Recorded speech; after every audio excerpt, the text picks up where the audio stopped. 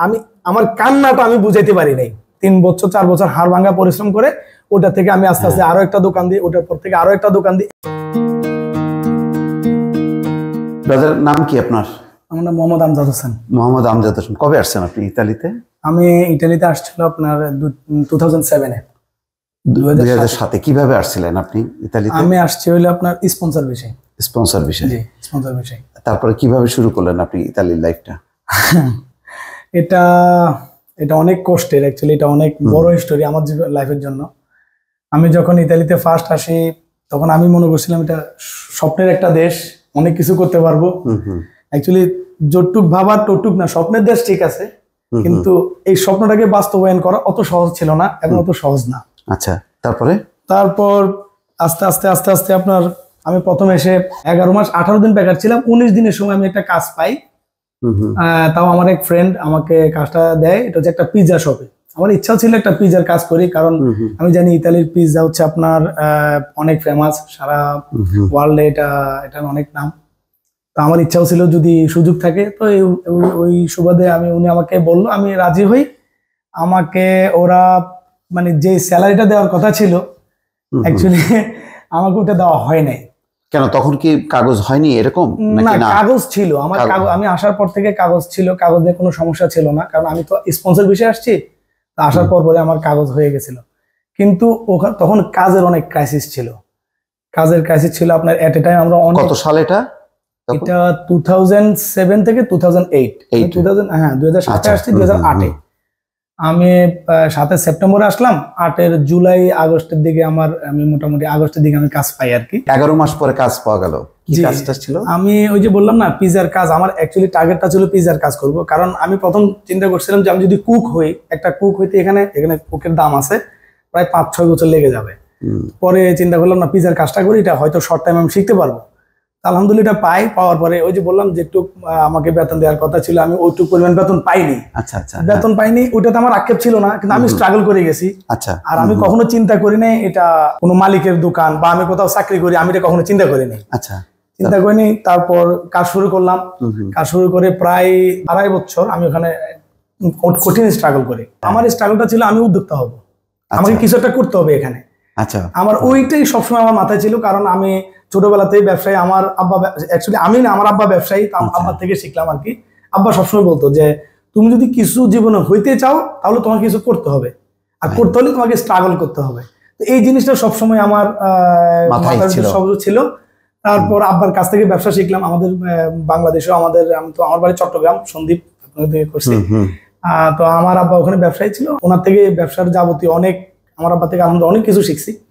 তখন ওই থেকে আমার আস্তে আস্তে ব্যবসার এটা মাথার ভিতরে ঢুকে। আর এখানে আসা যখন আমি স্ট্রাগল করব মাথার ভিতরে আমার স্ট্রাগলের যে ইয়েটা।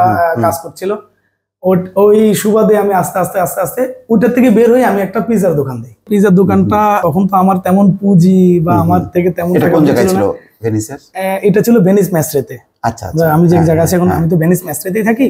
হ্যাঁ, তো মেসিটা লোকাল এরিয়া মেইন ভেনিস না মেইন ভেনিস তো হচ্ছে একটা আইল্যান্ড আমরা হচ্ছে লোকাল এরিয়াতে তো। ওখানে দেই। আমার টার্গেটটা ছিল আমি যেহেতু পিজার কারিগর আমি দীর্ঘ আমি কোর্স করেছি আমার হ্যাঁ। এক্সপিরিয়েন্স আছে আলহামদুলিল্লাহ আমি পারব। তখন যেহেতু আমি একা পারছিলাম না তখন আমি একজন পার্টনার নেই। পার্টনার সহ শুরু করি। অ্যাকচুয়ালি বিদেশে আমরা যারা দেশের বাইরে আছি এখানে আমরা আমাদেরকে হেল্প করতে হয়। কারণ যেহেতু আমরা পরিবারকে হেল্প করতে হয় বাংলাদেশে আমাদেরকে এখানে কে হেল্প করবে। তখন আমার আরেক ফ্রেন্ড ও এগ্রি ছিল ও আমাকে বলল ও অ্যাকচুয়ালি অফারটা ও দেয় যদি পারি আমরা কিছু একটা করি তা আমার টার্গেট ছিল আমি তো পিজার কারিগর আমি পিজাই হলো। মানে এখানে যেটা বলে পিজাই হলো বলে। আমি ওই সুবাদে এটা শুরু করি। ওটা দীর্ঘ প্রায় চার বছর হাড় ভাঙা পরিশ্রম। মানে পরিশ্রম কাকে বলে। এটা আমার জীবনের সবচেয়ে বড় স্ট্রাগল পয়েন্টটা ছিল ওখানে। এবং এটা কি বলা যায় যে এই পিজার দোকানটাই কি ভাগ্য ফেরালো আস- আস্তে আস্তে? হ্যাঁ পিজার দোকানটায় ভাগ্যফর অবশ্যই আমার ওখান থেকে আমার টার্নিং পয়েন্ট শুরু। তারও আগে আমার সবচেয়ে বড় যে জিনিস আমার কাজ করছে সেটা হচ্ছে আমি যখন বেকার ছিলাম তখন একবার কোরবানির ঈদের সময় আমি আমি একদম কাজ নাই বেকার। আমি তো আসছি রোজার মধ্যে তো রোজার ঈদ গেল আমার পকেটে টুকটাক কিছু ছিল কিন্তু কোরবানির সময় তো আমি একেবারে বেকার।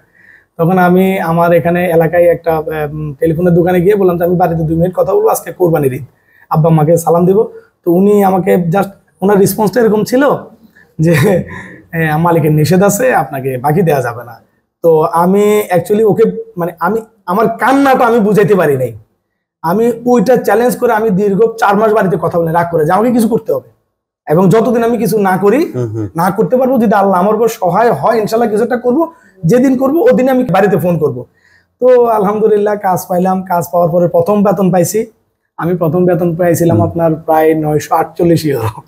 আমার স্পষ্ট মনে আছে এটা কারণ এটা প্রথম বেতন তো জীবনের প্রথম বেতন সাত মনে থাকে।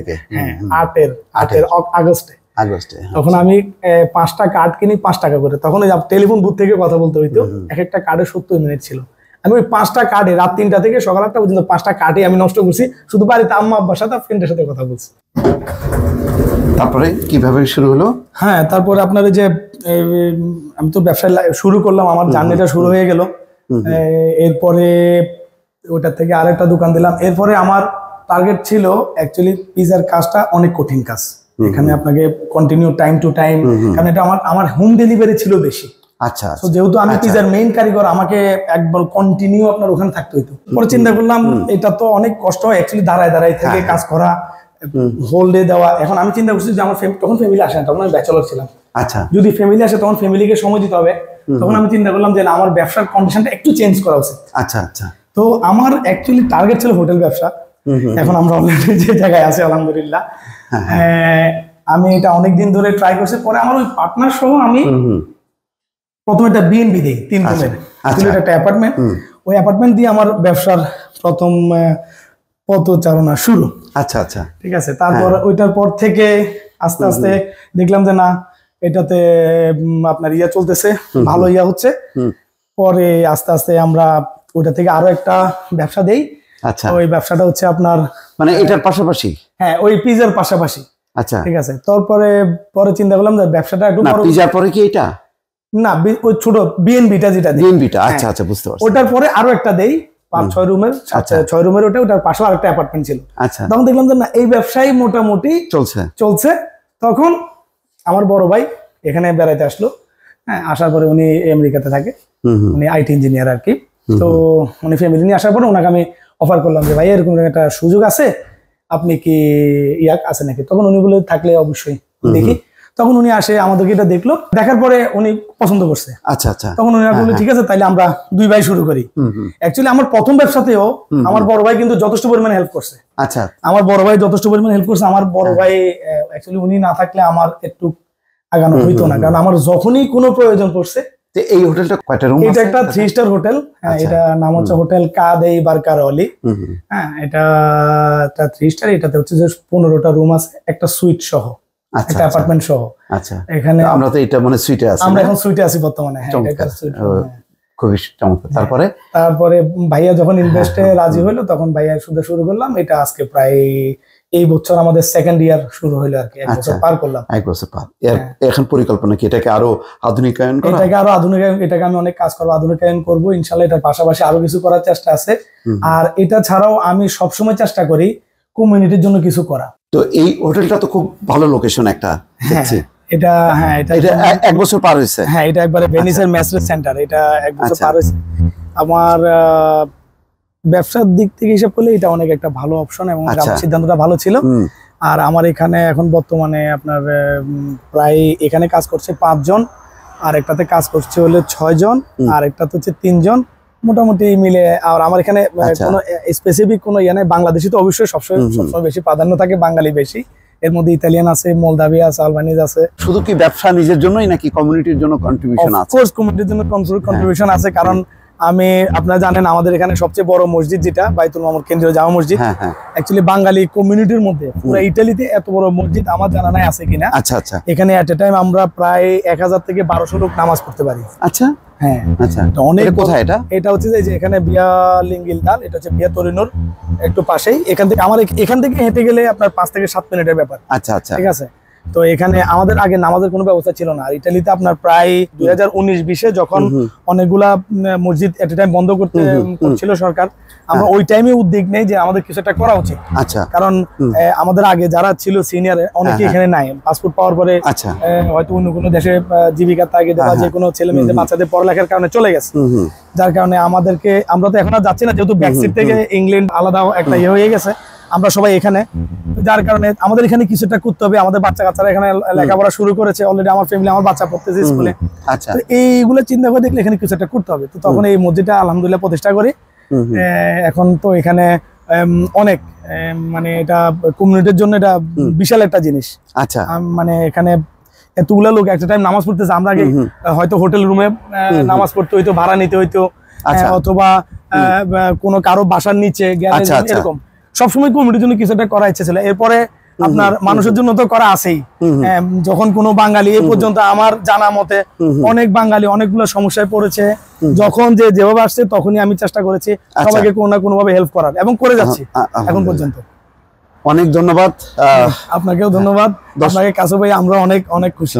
দর্শক শুনলেন এতক্ষণ আমরা যেই তরুণ উদ্যোক্তা একেবারেই ইতালির মাটিতে এসে সে নিজের জীবনকে গড়েছে এবং সিদ্ধান্ত নিয়েছে যে তাকে কিছু করতে হবে। শুধু চাকরি করে নিজের জীবন জীবিকা না উদ্যোক্তা হয়ে নিজেকে প্রতিষ্ঠিত করা এবং কমিউনিটিকে সহযোগিতা করা, ঠিক সেই কাজটি করে যাচ্ছেন কিন্তু তিনি। তো আমাদের এই সোসাইটিতে বা আমাদের কমিউনিটিতে প্রবাসে যারা, আমজাদ একটা মডেল আমি বলব এই কারণে তার পথ ধরে বা তার বক্তব্য যেটা শুনলেন, এটা শুনে যদি আপনারা উদ্বুদ্ধ হন, আপনারাও যদি উদ্যোক্তা হিসেবে এগিয়ে আসেন, তাহলে নিজের জীবন যেমন একটা পরিপূর্ণতা লাভ করবে, তেমনি আপনাদের মাধ্যমে আপনার কমিউনিটি শক্তিশালী হবে এবং আমরা সেটাই চাই যে প্রবাসে বাংলাদেশি কমিউনিটি বড় হচ্ছে, কিন্তু শক্তিশালী হচ্ছে না। আমরা চাই একটা বড় কমিউনিটি এবং একটা স্ট্রং কমিউনিটি এবং সেই জন্য অবশ্যই উদ্যোক্তা হবার একটা সংকল্প নিতে হবে। অন্তত আমজাদকে দেখে নিশ্চয়ই আপনারা সেই শিক্ষাটা নিতে পারেন। দর্শক, ভালো থাকবেন। আল্লাহ হাফেজ।